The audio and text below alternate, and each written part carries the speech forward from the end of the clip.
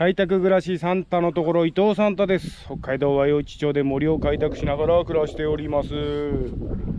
えー、タンポポ咲き誇る5月の中旬サンタのところ。例年より遅れているじゃがいもの定食やっていきたいと思います。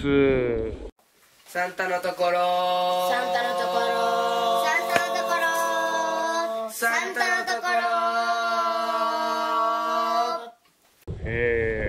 もうね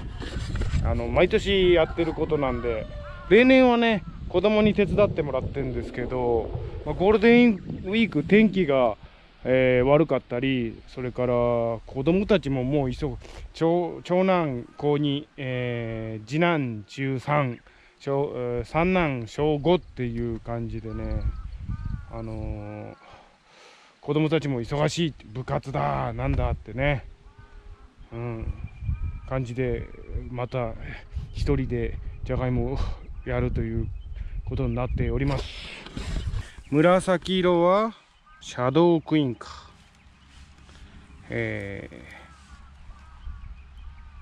ー、男爵。それからこれ表面が赤くて中が、えー、中も赤いのはノーザンルビー。で、表面赤くて中が黄色い。アンデスレッド。これが一番好きだね俺は。そしてメイクインの5品種。今年はねあの空気するところをこうグッと絞って、えー、間は、えー、乗用モア走らせて管理するっていう感じでちょっと毎年ね試行錯誤してるんですけど。とにかく効率を上げるためにどうしたらいいかってことを考えてね毎年やっておりますまあ乗用モアがねあの24馬力のいいのが活躍してくれたんでねこうフル回転してもらおうかななんていう感じで、えー、こう畑の作り方が変わってきてますね。サンタのところ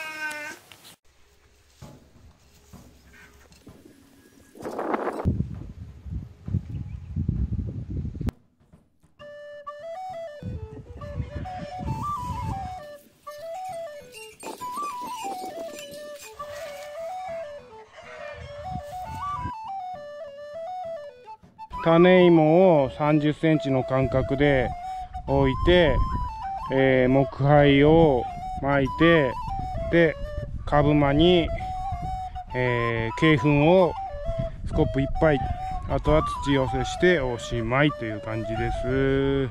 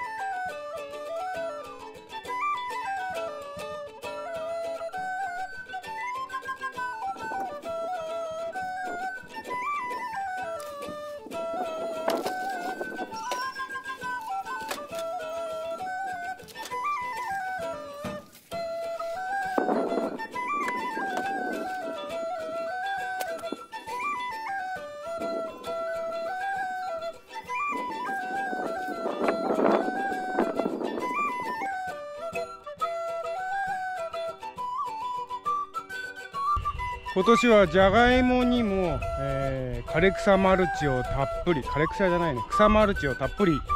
という方針でやってみました。まあまあねあのじゃがいも芽が出るのは2週間以上先なんのかな。あのこの下にじゃがいもが眠っていることは、えー、この絵からは分かんないですけど、えー、これがいい方向にね左右するといいなと思っております。